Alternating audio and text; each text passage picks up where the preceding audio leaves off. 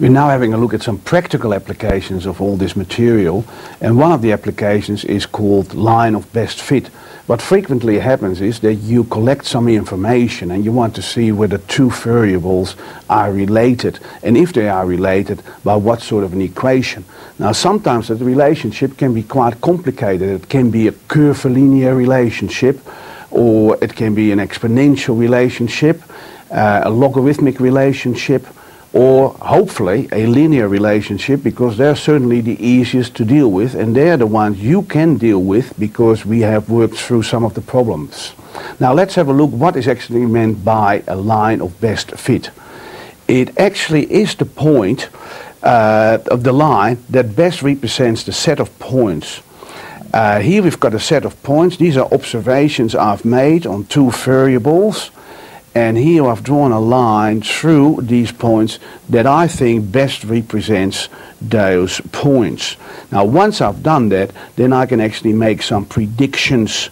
Uh, for instance, I might have a value over here on this x-axis and I want to know what value corresponds to that on the y-axis and I can use that line of best fit. Sometimes it's called a prediction line. So the line can be used to estimate values. Let's go into some problems like this.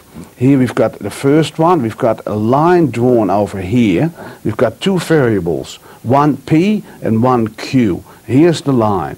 Now, the first question asks, what is the value for p when q is equal to 5? So I select the value for q equals 5. I go to the line and I see what value of p best represents that point.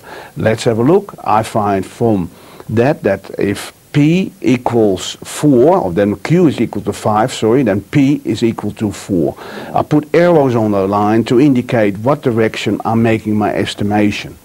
In this case, I want to know what Q is when the P value equals 6. So I would start with 6 and then go across horizontally and I find uh, from the line then that I can estimate the Q value as to be between 7 and 8, about 7.5. When we conduct an experiment, the data we collect is called empirical. Now, how, what do we do when we have empirical data and we suspect that a line passes through a set of points? Well, you do the same thing as we've done before, except that the numbers are generally a little bit more awkward and some of the points don't quite lie on the line. You take two appropriate points and you do the same thing. Find the gradient, find the intercept. I've got the procedure written up here. Select two appropriate points. You obtain the gradient using the same formula as before. You use one point to get the b value and you write the equation as y equals mx plus b. Let's go straight into a problem. Uh, I've collected some information here about the mass and the length of cylinders with identical cross sections and I've measured them uh, as follows. Now we suspect that the values of L and M are linearly related. In other words, that they would be of a form M equals gradient times L plus an intercept.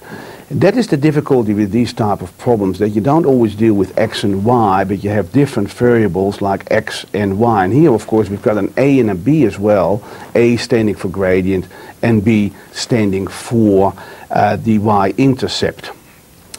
Okay, we select two points. Now I've selected the first and the last, but you can take other points. If one point is completely way off, then you should not use it. Perhaps a little sketch of the points will give you an idea if there is a failure that is way out. I have checked, those points are approximately on the line. We use the formula for the gradient, difference in the y's becomes 20.7, difference in the x's 7.5. 2.76 if I uh, divide that. Then we substitute that into the equation y1 equals mx1 plus b to get the value for b and that comes to 0.1 which will enable us then to write the equation m equals 2.76l plus 0.1.